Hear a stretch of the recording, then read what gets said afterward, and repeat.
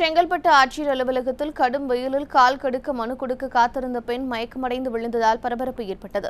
திமுக ஆட்சியில் பொதுமக்களிடம் பெறப்படும் மனுக்களுக்கு உடனடியாக தீர்வு காணப்படும் என்று ஸ்டாலின் தெரிவித்துள்ள நிலையில் செங்கல்பட்டு மாவட்ட ஆட்சியர் அலுவலகத்தில் நேற்று பொதுமக்கள் மனுக்களுடன் பாதுகாப்பான இடைவெளியில் இல்லாமல் குவிந்தனர் அப்போது நான்கு மணி நேரமாக வெயிலில் கால் கடுக்க காத்திருந்த பெண் ஒருவர் மயக்கம் அடைந்து கீழே விழுந்ததால் பரபரப்பு ஏற்பட்டது. இந்நிலையில் மாவட்ட ஆட்சியர் மக்களை சந்திக்காமல் சென்றதால் வேதனைக்குள்ளான பொதுமக்கள் ஏமாற்றத்துடன் வீடு திரும்பி சென்றனர். அதிகாரிகளின் மெத்தன போக்கால் முன்னேற்பாடுகள் எதுவுமின்றி. பொதுமக்கள் குவிந்ததால் நோய் பரவும் அபாயம் ஏற்பட்டது.